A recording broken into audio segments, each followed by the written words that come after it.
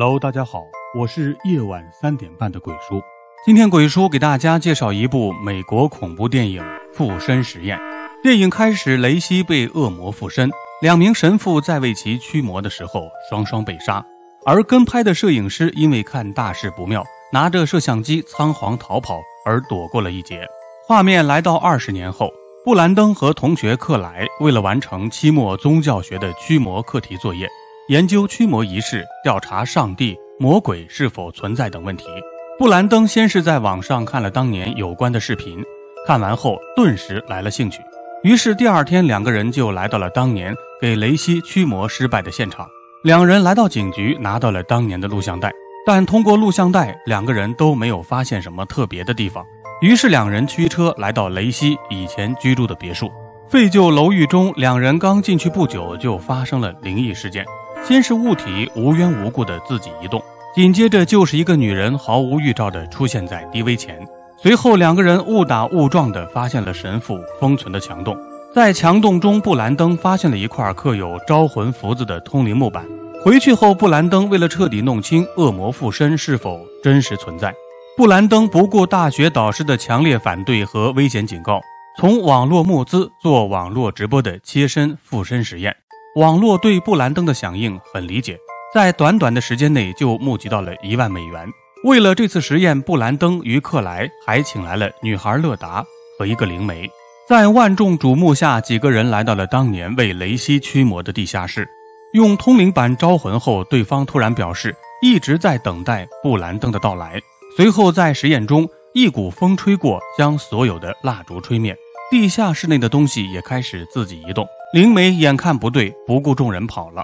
可布兰登不愿意放弃，一心希望自己能够被附身。可最终实验还是失败了。与此同时，因为实验的直播，使一个邪教组织知道了布兰登的下落。在这之后，布兰登回到了家中，没想到布兰登的母亲因为布兰登附身直播的事情大发雷霆，甚至要将布兰登赶出家门。随后，从父亲的口中，布兰登才得知。原来他的父亲就是当年那个幸存的摄影师，而布兰登就是雷西幸存的孩子。一时难以接受现实的布兰登开车离开了家中。等到布兰登回到家中的时候，发现自己家门口围满了警察。原来布兰登的母亲被恶魔附身，硬生生地掰断了自己的下巴。紧接着，布兰登也被恶魔附身。布兰登回到学校宿舍，此时宿舍中布兰登的室友科尔比正在和自己的女友视频。被附身的布兰登直接杀死了他。紧接着，布兰登又坐在科尔比的电脑前，附身了镜头对面的女友。女友被附身后，直接头撞电脑而死。而失去理智的布兰登在做完一切之后，又来到校园中到处杀人。情急之中，克莱只能和乐达将布兰登打晕，抬回了家。可即使这样，恶魔也不愿意放过布兰登，控制布兰登的身体悬在空中。没办法，克莱等人只能将这拍成视频发布在网上，向众人寻求帮助。随后，一个巫师联系了克莱两人，表示愿意帮助驱魔。为了救布兰登，克莱只能和乐达请来巫师，并来到雷西那个地下室，准备给布兰登驱魔。同时，布兰登的父亲不放心，也来到了现场。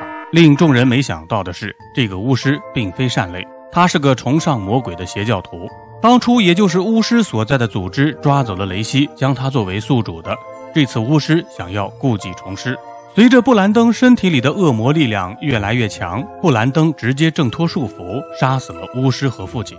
而另一边，眼看不对的克莱选择报警，可马上也遭遇布兰登的毒手。就在布兰登准备杀死乐达的时候，警察赶到，他们想要制止布兰登的行为。可是此时的布兰登已经疯狂，哪里还听得进去？直接将前两个进来的警察抓过来，胡乱的杀死。奈何两个警察还没反应过来，就死在布兰登的手下。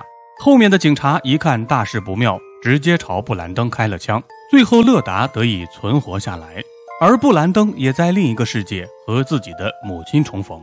这部电影立意还可以，但拍摄手法太业余，演员们表演的也十分不在状态。故事简直就是不作死就不会死的终极代表。男主的性格在这里太不讨喜，而且这部电影整体也没有什么故事铺垫，没有高潮和精彩的部分，很多地方都没有给出合理的解释。例如，巫师所在的组织以及男主和男主母亲的身份，除此之外，恶魔也没有进一步的进行说明，全程出来后就只有杀人，所以算不上一部好的恐怖电影。好了，今天的故事就讲到这里。